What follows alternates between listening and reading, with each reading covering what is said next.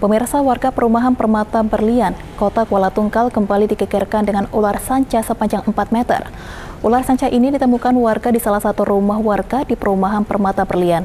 Tidak ingin mengambil resiko, akhirnya warga menghubungi pihak damkar untuk melakukan evakuasi.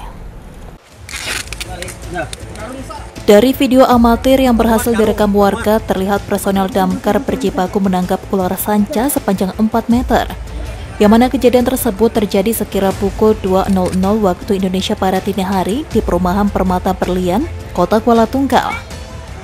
Atas kesigapan petugas, akhirnya ular sanca sepanjang 4 meter ini berhasil ditangkap dan dimasukkan ke dalam karung oleh petugas.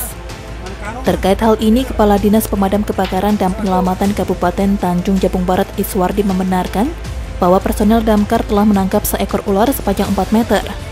Dikatakannya, tugas menangkap ular juga merupakan bagian dari tugas damkar. Iswardi juga mengatakan ini bukan kali pertama saja personel damkar menangkap ular di rumah warga. Karena dalam kurun waktu satu tahun sudah ada puluhan ular yang ditangkap oleh pihak damkar.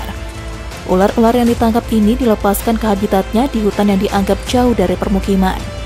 Jadi begini, tugas damkar ini selain dari melakukan pemadaman, mereka juga melindungi harta dan jiwa masyarakat, kemudian melindungi juga ancaman masyarakat dari ancaman binatang melata lainnya seperti oh. ular.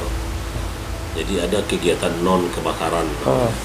Di non kebakaran ini tugasnya memberi bantuan atau memberi pelayanan kepada masyarakat oh. dalam hal ancaman di luar kebakaran seperti ada serangan ular, serangan binatang melata lainnya, biawa, ular, harimau kalau masih bisa kita bantu kita bantu Iswardi mengimbau kepada masyarakat jika terjadi sesuatu yang mengancam keselamatan seperti ada ular di dalam rumah.